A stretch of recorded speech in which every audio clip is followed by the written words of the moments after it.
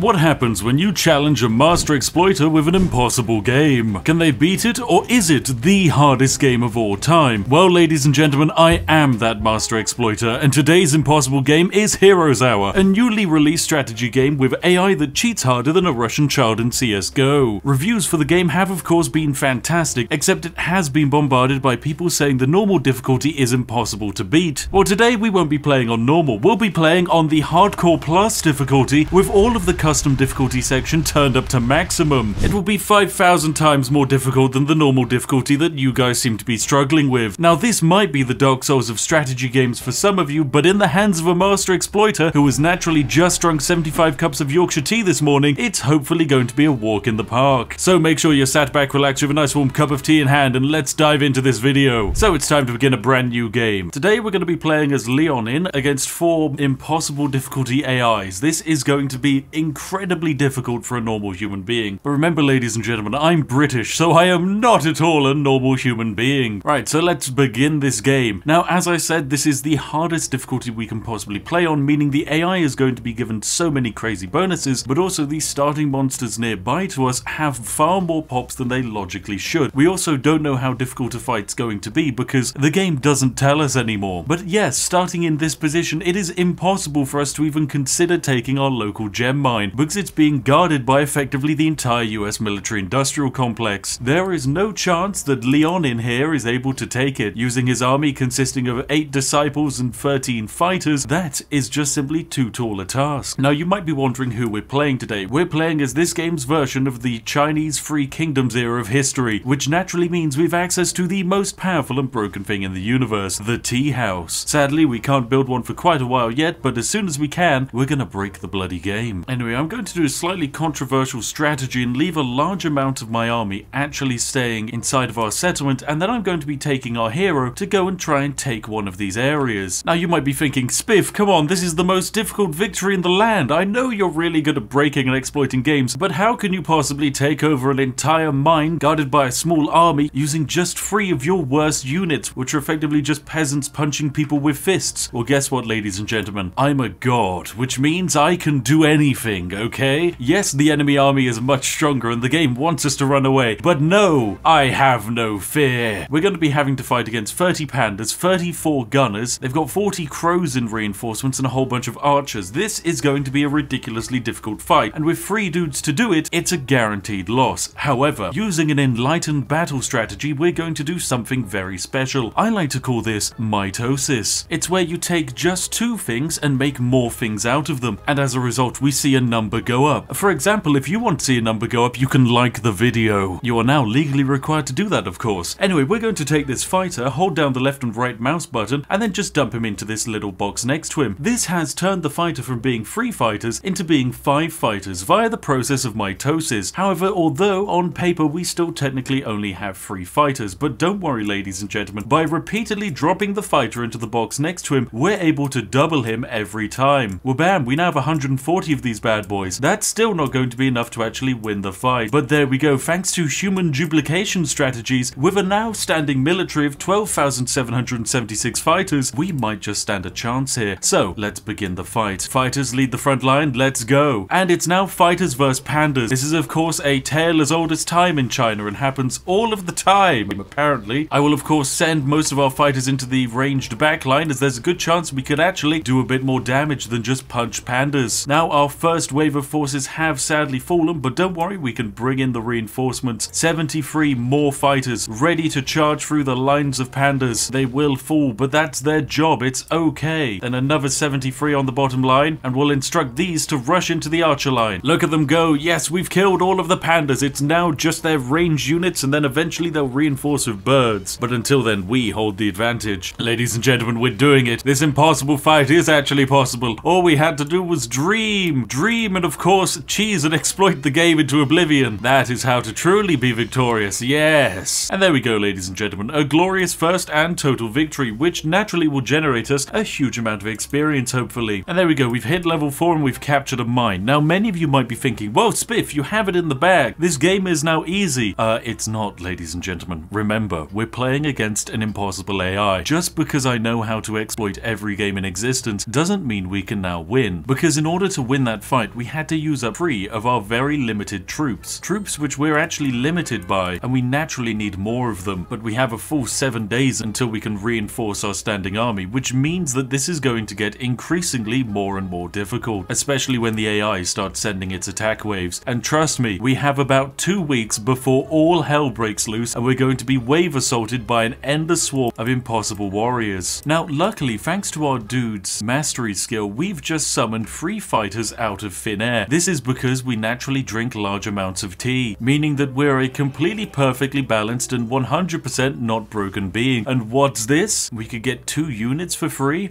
yes, please. And enemies that are struck by this creature have a chance of being turned into gold? and then we can get gold from their corpses? Oh, yes, please. We are going to so do a fight here. Now, in this fight, we're going to put all of our fighters into our reserves and instead start duplicating the Child of Midas. We now have 3, 5, 8, 12, 18, 27, 41, 54, 183, 373, and now 413 of them. This uh, should be enough to win the fight. So we're going to go send them into battle and hopefully we're going to massively crush the enemy and also turn them into gold. Oh yes, look at all of this lovely money we're going to be generating. Why fight your enemy when instead you can turn them into profit? Oh, it's glorious. And there we go, we win. We get all of this lovely money as well. Now here's the thing, we actually need more forces. We're actually going to be able to survive, which means we need to build ourselves a tavern. This tavern is going to allow us to recruit an additional hero, which as you can imagine is going to be needed. Our hero today is going to be a panda. Um, fine, we'll recruit him. And immediately we're going to go send our panda to go and kill a whole bunch of crossbowmen and take control of a mine. So let's start duplicating pandas. Now you might think we're off to a cracking start. We've got 8,000 gold in the bank. Our heroes are starting to level up, but no, we are incredibly weak. We can recruit only 23 units each week, and those units are literally the worst thing in the universe. And so in order to save the amount of troops that we're losing in battle, I'm going to be building an infirmary, so that way we can start getting back some of our dead troops. Some of the fights on this map are just downright ridiculous. There's almost 400 air spirits guarding this tiny hostage. Like, this is just a hell map. It is horrible. But hey, we have to try and fight, otherwise we're never going to survive. Anyway, time to start duplicating some peasants. Right, we finished week one and we head into week two, where enemies are starting to appear to us. In fact, we're even starting to get vaguely surrounded on all sides, but hey, we only have three choke points to defend and luckily three heroes to do it. And now, thanks to our latest investment, we have more power than ever before. Because we built the Pillar of Balance. Now, what does the Pillar of Balance do? Why, it allows us to make the greatest unit known to man. The Tea Knight, ladies and gentlemen. Oh, it's fantastic. It's a dude with a tea leaf on his head wielding tea leaves. This is what the peak British form looks like, and it's what we are all eventually evolving into. It's perfect. But alongside that, we've also built the greatest building, the Tea House. Now, the Tea House for this week is very good. Our first 500 power worth of units gain immortality, meaning they will always come back after the fight. And that's just from drinking one refreshing cup of Yorkshire tea from the Spiffco mug. Now that's how to gain immortality. Anyway, I'm gonna do this huge fight against 300 air elementals because uh, why not? I also discovered that these Mercury units are kind of ridiculously broken overpowered. Anyway, first before combat, we're going to drink our tea and then we're going to go into battle. Ah yes, these Mercury units are so ridiculously powerful, they're actually increasing in mass in this fight, which is uh, downright a little bit silly, but that's fine. I'm happy gaining an extra 84 of these ridiculously powerful units after every fight. Wow, that's 15,000 experience. Nice. Okay, we've just got our first glimpse of a proper enemy army. Now, this is week two, and this is a green army, which consists of potentially 100 crossbowmen, 100 spearmen, whole bunch of high-level knights, and some wolves. This army would be impossible for us to beat at this stage in the game. Luckily, by mixing the immortality, which we have access to, that grants the first 500 power worth of units immortality, it turns out when you duplicate units, those units stay. And consequently, we have a whole bunch of peasants now. We now have 197 of them in this army, which is just downright ridiculous. So this AI hopefully is actually going to leave us alone whilst we run through his land and pillage everything. Right, I'm going to demonstrate some troop duplication powers here. So what we're going to do is we're going to duplicate the balancer. Now this unit, really, really good. It can even resurrect itself over and over again. Then we're going to make sure to drink this tea. And this tea is going to make sure that our lovely balancers are going to start duplicating because we only have eight of them But these bad boys, they do a lot of damage. They have a lot of health. They're going to come back from the dead. But more importantly, we're going to mitosis them from being just 8 balancers into having, hopefully, a lot more. Yes, and as you can see, we're starting to duplicate them now. We're now up to gaining 12 balancers in this fight. 14, in fact, glorious. We only started with 8 of these bad boys, and there we go. We're up to 9 and 10. Fantastic, yes. Glorious, glorious mitosis. Effectively, this is an item duplication, because people in this game are items, kind of. They're resources at least, okay? Just like interns, they don't have a say in life, and I will constantly find ways to profit of them. There we go, we gained 96 of one of our strongest units, just in that fight alone. Fantastic stuff. Okay, we're starting into the midpoint of week three, and the uh, invasions are starting to become serious. We have two enemy AI armies marching towards our capital, and it's entirely possible they can reach it by the end of the turn, and we can't really defend it. We can only defend it with the units that we have there, which means that we need to bolster the defenses using one of our amazing cheaty mechanics. Now, we can hire mercenaries, which are horrifically expensive units, or alternatively, we can use our magical skills and mess about with the Of Essence by combining words like hope, power, and peace. And by using all of this, we can summon a creature. What have we summoned? Seven Orphidians. Fantastic. Now that's going to be useful. But as we can see, the enemy AI are starting to pump out armies at incredible degrees. Basically, at the start of each week, they summon a brand new army, and that new army instantaneously gets a couple hundred extra units. So hopefully they decide not to attack our capital this turn. Nope, looks like they're going on the retreat. Fantastic. Right, we're being attacked by one of the horrifically overpowered AI armies. As you can see, it's led by this level 12 dude who has an amazing quantity of stats, but little does he know, he's attacked us. And I'm not going to duplicate my men because we have the balancers, and we are going to feed the balancers human tea, which gives all units burning strikes and flaming attacks. So let us chug the tea, go into battle, launch the attack, and give all of our lovely soldiers a shield, so that way their health is increased even more, which of course stacks with their regeneration. And look at them plow through the enemy! My goodness, they're just charging through. Are they going to inflict some of the enemy units with blind so they just wander around and do nothing, whilst the Tea soldiers are marching on? Go, Tea boys, go! And then I can cast a holy light to heal all of them to maximum health. Lovely. Go, Tea boys. Oh, they're doing fantastic. Absolutely fantastic. Is still getting rather close though, so I'm actually going to have to even summon in a whole bunch of peasants. This is a very costly battle, but this is largely because AO's got some very strong late game units like the War Clown. Okay, more likely the Anarchist, but still, the War Clown is intimidating. Oh my god, our army is actually starting to get massacred here. Oh no. Alright, I guess we have to exploit our way. Quickly, start duplicating piggies. Right, glorious battle pigs, away you go. Now sadly, this is the last of the pigs that we have. A final 41 pigs marching into the battlefield, and this is not looking good for us. We're completely out of units, and I think the AI might have it in the bag. Their Mercurial units are just too ridiculously powerful. They're so strong and they do so much damage for just being tiny little balls. Come on, piggies, you're doing great, but I think this might be slightly too much for you. Goodness, we're down to just two pigs. Two single pigs. But they're doing it. There's one goblin. Oh my god, with two pigs! Two pigs we managed to clutch that fight. Dear lord, okay. Whoa. Maybe we do have a chance, gets to say hi. The armies they're raising now are just absolutely ridiculous. This army just got summoned in this turn. Look at it. 78 tiny little scampy goblins. We're now heading into the end game, ladies and gentlemen, where we're going to start seeing the literal apocalypse of warriors getting sent our way. Oh no, I've made a terrible mistake. I thought this army had units in it, but it doesn't. It actually just has these bodyguards, and these bodyguards can't be duplicated, uh, which means our poor little hero here is pretty much entirely by himself in this fight. Uh, he does have some spells. Oh dear, oh dear, oh dear. Right, bird, straight into the back line. Let's see what we can do. This is not going to be a clean fight, and we're probably going to lose one of our heroes here. That's also going to open up our entire southern flank to the enemy. Oh dear, this is a total massacre. I'm sorry, men. Oh, I led you into a suicide mission. Just walked straight through our gate. Okay, luckily our hero survives and we'll get him back in one day's time, but still, he is definitely not as powerful as I was hoping for.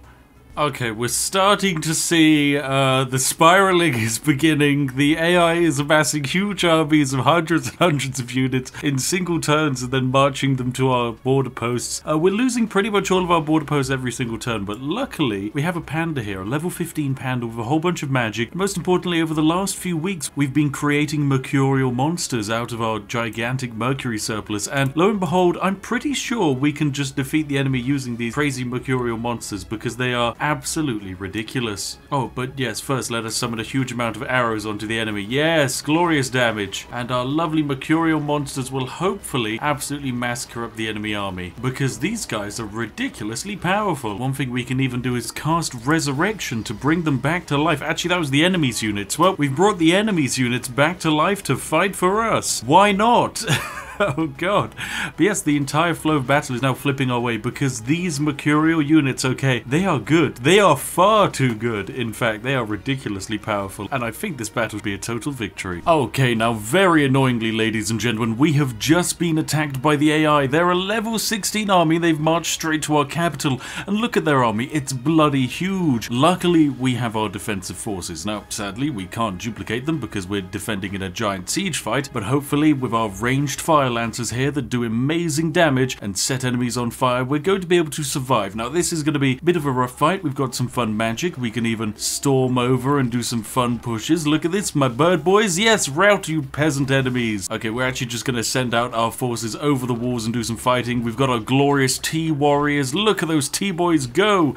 They're incredibly powerful. They regenerate health and they're very difficult to die. Would you look at that, ladies and gentlemen? That's total glorious victory. Yes, it was rather costly but, but we did just defeat one of the amazing cheated in AI armies using our own, which is a good start. Okay, you know what, ladies and gentlemen, I think I can actually knock out the entire green player this turn. Uh, he has two heroes sat outside his castle, so I'm thinking if we just chase him down with our larger army here, we should be able to get the victory. And here we go, these are the only defenders he has left after we've knocked out the heroes outside of his wall, and lo and behold, yes, we should be able to pretty much absolutely decimate them with our glorious ranged units. Yes, take that impossibly difficult AI. I am perfectly balanced indeed. And this is how humanity falls. Lovely stuff. Ah, it's the end of the Green Empire and the rise of the Tea-Boys. And with that, they only have one hero remaining who is absolutely weak and pathetic. But hey, we have ourselves a brand new settlement and a whole bunch of money. Lovely. I'm also going to be able to recruit all of this faction's units because, of course, the AI kind of cheats and summons them in, which means when we conquer their settlements, we can actually just recruit for them which is absolutely wonderful. Next up, we're also going to try and send our panda to knock out the entirety of the yellow faction because uh, we managed to defeat them a few fights ago, and yes, they have just summoned a huge army, but luckily it's only been led by a level 4 hero, so I want to jump on top of him before you can trade it to one of their better heroes, maybe their level 9 one or their level 14 one. Either way, we're going to murder that guy. Now, he does get to hide behind the walls, and he will also get reinforced by his allies, but don't worry, ladies and gentlemen, we've got the Mercurial Slug monster monsters, and those bad boys are completely and utterly broken. They are pretty much the perfect unit, and we can also drink our pure tea to give ourselves a lovely modifier. And what I'm going to do is just buff all of my lovely mercury boys, look at them go, and then use the holy light to heal them all. Fantastic. Oh, they're just absolutely glorious monstrosities. Best of all, when they die, they don't actually die, they just split into two smaller versions of themselves, which makes them an absolute nightmare to murder in this game. They are pretty much unstoppable. Now, the game for some reason still believes the AI is favored in winning this, but little do they know that the Mercury monsters, they are all that we need. They just do so much damage, they're glorious. Look at them go, my Mercury boys, go! Do glorious things. And yes, the balance of power is now beginning to tip in our favor as the AI completely runs out of reinforcements. This is going to be a total and glorious victory. Fantastic. We even get to shape some new units afterwards, and thankfully we still have 84 Mercurial boys. Okay, now using the AI town, I decided to hire a mercenary army and we're going to use Operation Suicidal Chaff Blocker who's going to fight Talanak here. Oh my goodness, it's this person again. They're a level 17 spellcaster. They're a nightmare to fight against, but luckily this is a mercenary army. So if we lose all of the units, it doesn't matter. They're just here to do damage, have a fun time, slow down the enemy a bit. It's perfect. So I'm going to charge my hero right into the center of combat. We're going to break through the walls. Then I'm going to do a freedom call just to buff all of my dudes and let's try and destroy the enemy. Now, annoyingly, the AI has access to these ranged deck gunners, which are absolutely insanely overpowered. They are stupidly high value for money, and now that they've just summoned 36 of them, this fight is now pretty much completely unwinnable. But don't worry, our goal is not to win, it is to do damage, and damage is what we will do. We hired this army for just a couple thousand gold. If it dies, so be it. We can just hire another one next week. So we just want to rush our forces in and hopefully kill a few of their gunners, please? That would be fantastic if we could. Can you please stop dying, pathetic goblin monsters? Okay, right, yep, that's it. We're we're done for. The goblins are running away. They're fleeing from combat, and um, that is the end. Oh well, we killed 141 deck mates, which uh, you know I'll take. That's some damage done. The AI hopefully won't just immediately re-recruit them all next turn. It is entirely possible, but I'm gonna hope that we did actually accomplish something today. Okay, now I've teleported my panda hero here to the other side of the map, and luckily this means we're gonna be able to knock out the green AI today, using of course our amazingly super powerful Mercury monsters that are just going to pretty much evaporate the enemy. I mean, who thought giving them AoE attacks as well as melee attacks is a fair or good idea? It's not, they're just too powerful. Anyway, that was a complete and utter massacre. We murdered them all. Lovely stuff. There we go. We've also managed to capture the major fort leading into this red settlement that uh, they managed to retake from us. But hey, that's fine. Now we're just going to march on in and recapture this settlement for the second time. Once again, going to be quite a nice and easy fight. We can just use the Mercury boys. We can just send in 75 of them, watch as they bombard everything on the other side of the wall, and take pretty much no damage in return. They can also just eat down the wall because they're fantastic melee combatant. They've got decent hit points, and yet for some reason they're classed as an incredibly weak troop, which means when you're affecting them with spells, you can actually buff more of them. Anyway, that's another settlement captured. We sadly can't really do much here because we can't recruit again this week, but don't worry, we're starting to knock out the AI factions, which is lovely. Yellow is gone, green is about to be gone as well. All that's left is the red and purple faction. Admittedly, the purple faction is bloody terrifying, but it's okay. And I'm gonna go chase down this dude who has a whole bunch of Mercury units because, I mean, come on, I've got well over 150 disciples in this army. They're gonna do fantastic, hopefully. I mean, yes, he's got 28 Mercury monsters, but surely 28 Mercury monsters isn't that powerful, right? Please?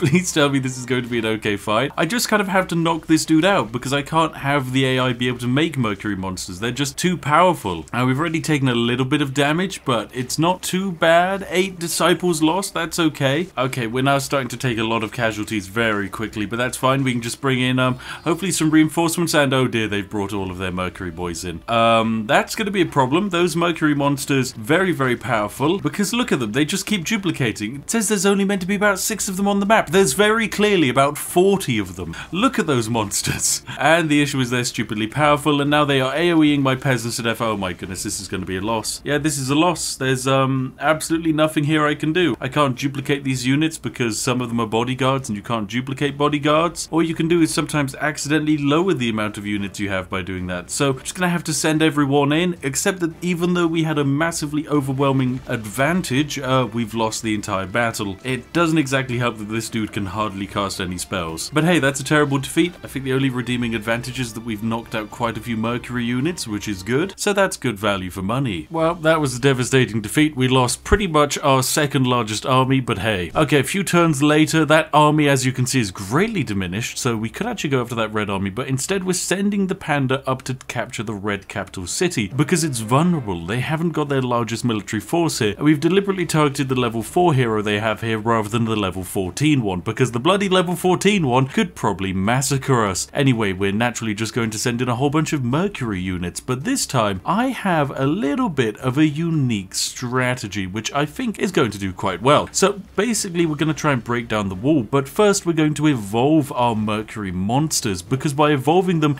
they are going to become other units of an increased quality, and because they're very cheap units on paper, they're going to all be affected by the evolve spell, which is going to give us a whole bunch of god tier units incredibly quickly. Oh, and also it's probably going to heal all of them, I reckon. Anyway, I'm also going to cast off resurrection so we can just bring a few of them back to life. Now our fight for the red settlement is going incredibly well. I've just cast Rain of Frogs, which is like a one mana spell, and uh, all it does is it rains frogs from the sky. It's not the most useful strategic battle weapon, but I mean, you know, it's going to help us capture the city at the end of the day. We can on paper say it was the frogs that did it, although in reality it was mostly the 140 Mercury monsters that can just tank absolutely everything in this game. So there we go, we've captured the capital here. That's a glorious total victory. And there we go, the red faction has now just been vanquished by us knocking out their final hero down there, meaning we just have the purple faction to worry about. They are the only remaining impossibly difficult AI to beat. That's right, this was the maximum difficulty, but I am no normal gamer, ladies and gentlemen. I am the most British gamer, which naturally means uh, I have a few advantages because I know how to drink a lot of tea. For some reason, the green AI hasn't actually been knocked out of the game yet because they have that one hero lying around, but hey, we'll get them eventually. At the same time, I also want to go back and capture the main purple settlement because as you can see, that hero who we fought ages ago with a mercenary army,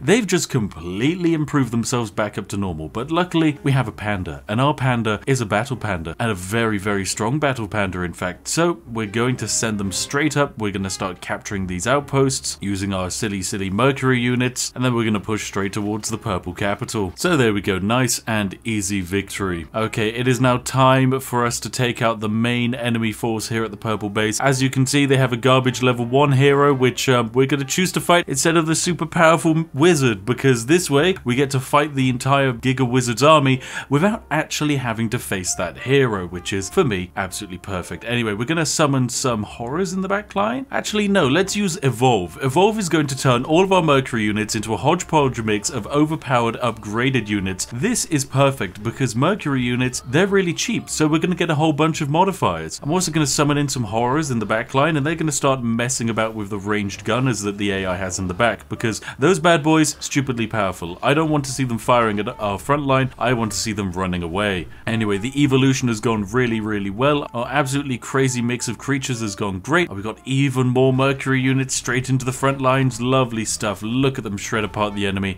Oh, this has gone fantastically well. Ah, oh, glorious, glorious total victory, ladies and gentlemen. This is the way I like it. And just like that, that's the bulk of their armies dealt with. They have one hero remaining. This is the single hero, our arch nemesis, who up until this point has defeated us pretty much every time we fought them, excluding the defensive capital siege. This bad boy is stupidly powerful, but this time, this time they have no troops. They have no overpowered units. Instead, we are here, and you are just a wizard, which means you are pathetic, and I shall blind you whilst I get very close to you with my range units. And oh, you you can summon units, can you? Of course you can. Okay, well that's that's annoying. Um, but oh, you can summon more. Okay, that is annoying. I didn't exactly want to lose any units this time, so I'm gonna cast Salt Blast, which is gonna dissipate their summoned units instantly into the ground. And there we go. That's total glorious victory. We've won, and with that hero knocked out, they only have one dude left.